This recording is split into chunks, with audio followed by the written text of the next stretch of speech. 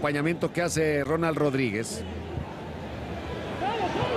Luego Larín filtra este esférico dentro del área, la pelota cruzada. Parece autogol, entró, no entró. Al final entró de todas formas.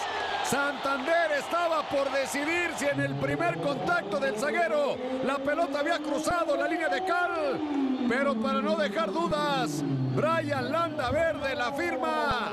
Y esto ya está 3 por 1, Geo. Bueno, decíamos era el riesgo, se abren esas oportunidades, otra vez juegan a meter el balón a profundidad entre líneas, gana completamente ahí el equipo del Salvador la, la, ventaja. Ahí vemos otra vez a los jugadores siguiendo la pelota.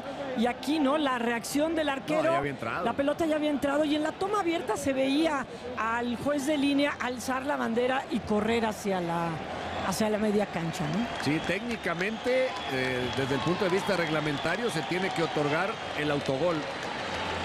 El Claro. autogol para Andy Charles.